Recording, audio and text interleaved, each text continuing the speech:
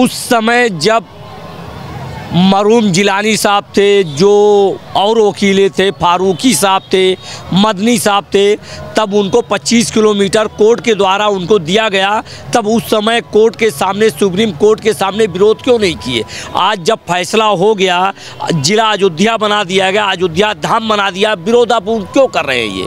उनको स्वागत करना चाहिए। धन्नीपुर जो मस्जिद बन रही, उनको स्वागत करना चाहिए।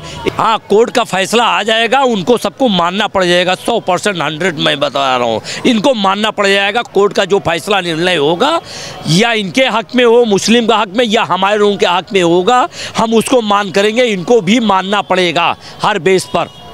नमस्कार, मैं हूँ कुलदीप, आप देख रहे हैं खबर पुस्तक। अयोध्या में मौजूद हूँ। और रामलला का जो मंदिर भव्य बना है, उसकी काफ़ी यहाँ पे श्रद्धालु लाखों लाख संख्या में आ भी रहे हैं। और मैं दिखा दूँ, मैं ठीक उसी मंदिर के प्रवेश द्वार पर खड़ा हूँ। हमारे साथ काशिफ अली जी बातचीत करने के लिए हैं। इनसे बातचीत करेंगे। बातचीत रामलला का मंदिर तो बन गया है। लोग दर्शन करने भी आ रहे हैं, बड़ी संख्या में आ रहे हैं। लेकिन जो सवाल है आज ज्ञानवापी पे निर्णय है। वहाँ पर पूजा के जो है राइट्स मिले हैं अब आठ दिन में कोर्ट ने कहा है कि डीएम को वहाँ को आदेशित किया है कि अगले आठ दिन में वहाँ पूजा की व्यवस्था की जाए ताकि हिंदू समाज वहाँ पूजा कर सके। आसिफ शेख चौधरी साहब से बात करेंगे कि कैसे सोचते हैं ज्ञानव्यापी पर क्या देखते चौधरी साहब रामलला पे तो विवाद हुआ सब कुछ हो गया समाधान हो गया मंदिर बन गया। यहाँ तक कि मुस्लिम लोगों ने दर्शन भी किए। ये बड़ी एक अपने आप में बात थी एक जो भारतीय संस्कृति में सभ्यता में भाईचारे को जोड़ने वाली बात। लेकिन ज्ञान ज्ञानवापी पे अब जो फैसला आया उससे आप कितनी सहमत रखते हैं कितना इतफाक रखते हैं? बापी पे जो कोर्ट का फैसला आया मैं स्वागत करता हूँ। मैं कोर्ट को बधाई देना चाहता हूँ मुबारकबाद देना चाहता हूँ। हमारे भोलेनाथ का फिर से ज्ञान बापी वापस हो गई है और पूजा पाठ करने के लिए अनुमति मिल गई। बहुत खुशी की बात है। आसिफ शेख चौधरी उनसे कितने लगे जो लोग कह रहे थे गए हमसे छिन गई? अब ज्ञान वापी मथुरा का नंबर है हम सड़कों पर उतर जाएँगे। जो कोर्ट का फैसला करेगा, कोर्ट जो फैसला करेगी, उसको माना जाएगा और किस बेस पे वो सड़क पे उतरेगी, ये ये इनको नहीं मालूम है। उत्तर प्रदेश या उत्तर प्रदेश मानिए, हमारे मुख्यमंत्री योगी बाबा जी की सरकार है। इसमें कोई भी जो आगे बढ़ेगा, गलत उरूमर उड़ाएगा, उनको जेल भिजवाएँगे, उनके घर पे बुलडोजर चलवाएँगे। यही तो दिक्कत है बुलडोजर की। आप भी बुलडोजर का ज़िक्र कर रहे हैं चौधरी साहब। दिक्कत बुलडोजर से ही है। बुलडोजर का स्टेयरिंग एक ही तरफ़ घूम रहा है।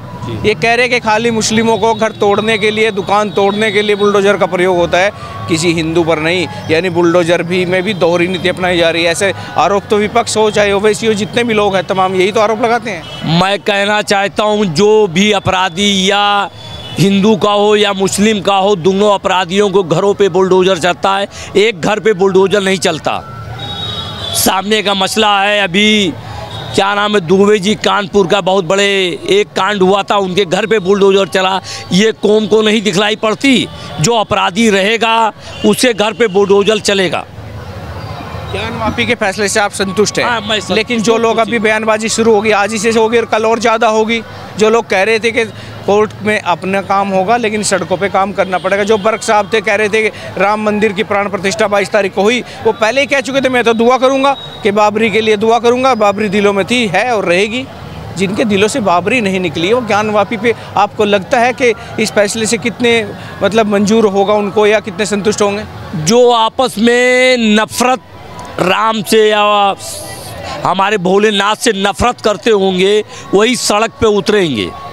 वो ये नहीं सोचते, ये नहीं सोचते, ये हम भी, जैसे एक हम मुस्लिम में, हमारे शंकर जी थे, औलादों में से हैं, वैसे हम भी सब औलाद हैं उनके, सनातनी हैं हम सब। हम सब सनातनी हैं। ये सनातनी में कैसे उतरेंगे? उनके विरोध करेंगे, शंकर जी का इनसे उनसे पूछिए। अब वो तो दौर चला गया ना, जब कन्वर्ट हुए थे हुए थे। अब ये तो कहते कि ठीक है, अब तो हम मुस्लिम हैं। वो जमाना और रहा होगा जब कभी हम सनातनी रहे होंगे या हिंदू रहे होंगे।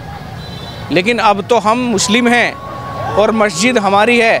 एक मस्जिद हमारी शहीद हो गई बाबरी की। ज़बरदस्ती सरकार ने, सुप्रीम कोर्ट ने, ये कहते ठीक है, कोर्ट का फैसला था, लेकिन हमारे एक रत्ती भर हमारे पक्ष में नहीं आया। हमें तीस किलोमीटर दूर मस्जिद की जगह दी। क्या फ़ायदा उसका? मस्जिद में तो कहीं भी कर लें, जहाँ मस्जिद होगी, मस्जिद तो वहीं होनी चाहिए थी, ये सवाल तो बार बार उठता है। उस समय जब मरूम जिलानी साहब थे, जो और वकीले थे, फारूकी साहब थे, मदनी साहब थे, तब उनको 25 किलोमीटर कोर्ट के द्वारा उनको दिया गया। तब उस समय कोर्ट के सामने, सुप्रीम कोर्ट के सामने विरोध क्यों नहीं किए? आज जब फैसला हो गया, जिला अयोध्या बना दिया गया, अयोध्या धाम बना दिया विरोध आप उन- क्यों कर रहे हैं ये? उनको स्वागत करना चाहिए, धन्नीपुर जो मस्जिद बन रही, उनको स्वागत करना चाहिए। एक चलो यहाँ नहीं बना यहाँ राम जी का बन गया, रामलला का बन गया। अब हुआ हम स्वागत करें। हम हिंदू मुस्लिम को एकता बना के चले। हिंदू मुसलमान को मैं गंगा जमुनी ताजीब बना के चले। ये सब आपस में लड़ाना चाहते हैं। आपस में लड़ो, हमारी रोटी रोजी रोटी रो चले।